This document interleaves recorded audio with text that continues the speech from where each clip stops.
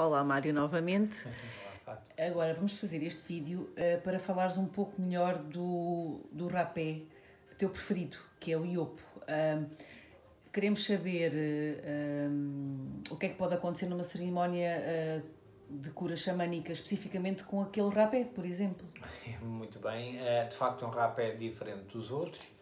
Um, Começo por dizer que quando alguém consagra a ayahuasca, nem que seja só uma vez, a partir daquele momento, sempre que consagrar rapé, sobretudo se for um rapé de um vegetal, de uma planta mestre que esteja ligada à madrecita, uh, há sempre a possibilidade de entrar em contacto com as energias da madrecita. Ou seja, quando nós consagramos um, eh, a ayahuasca e depois vamos tomar, por exemplo, uma jurema, em termos de rapé, é muito provável que durante o processo nós possamos ter uh, a presença, sentir a presença da madrecita. Isso é ainda mais verdade ainda mais perceptível numa cerimónia com o iopo. O iopo é um rapé diferente daqueles que eu conheço, daqueles que eu já consagrei. É o meu preferido, de facto, e é o mais diferente de todos. Porquê? Primeiro uh, nos transporta para um universo, para uma plataforma do espaço-tempo muito semelhante à da Madrecita, uh, uma consagração do rapé e opo uh, é quase que uma cerimónia de consagração da ayahuasca concentrada, condensada, e portanto é muito provável que durante aquele processo possam surgir alguns sintomas que se costumam sentir numa consagração da ayahuasca. Daí que ainda mais importante a preparação e percebermos que pode haver uma limpeza, uma purga, através do vómito, através do número 1, no número 2. Uh, ah, pode haver também algum uh, descontrolo emocional numa situação onde uh, as energias sejam mais poderosas, mais fortes. E normalmente é um rapé que tem uma duração que pode chegar até às duas, três horas de uh, trabalho.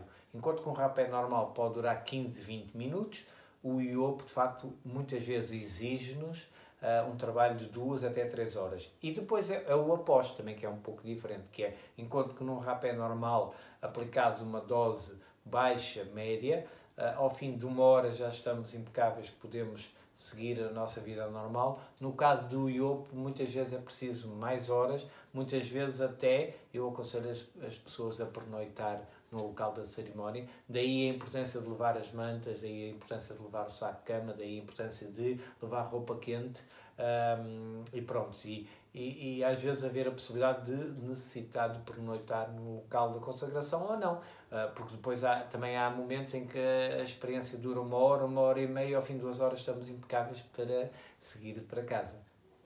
Ok, Mário, então uh, queres promover a tua próxima cerimónia de Opo? Uh, Quando é que vai ser? Muito bem, posso promover, já que insistes. uh, normalmente a cerimónia de Opo, deixa-me dizer-te que é uma cerimónia muito intimista. é uma cerimónia que eu tenho algum cuidado com as pessoas com quem faço, porque é muito importante a força do grupo, é muito importante perceber as energias que vão estar no grupo a trabalhar a energia do Iopo, quase como se fosse uma cerimónia de ayahuasca.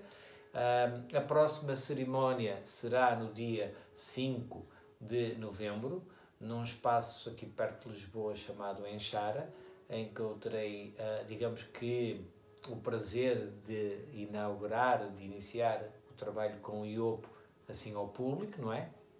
E obviamente que é uma medicina que eu aconselho a todas as pessoas que tenham um nível de saúde que, que o permita fazer, ou então aconselho e acompanhado pelo médico, e também uh, a todas as pessoas que sentirem o chamado serão bem-vindas os contactos vão estar uh, nas notas do, do vídeo. Aqueles que, entretanto, virem este vídeo, que já passou a data, é uma questão também de entrar em contacto, saber qual é a próxima data e o próximo local da cerimónia. Arro. Obrigada. Arro.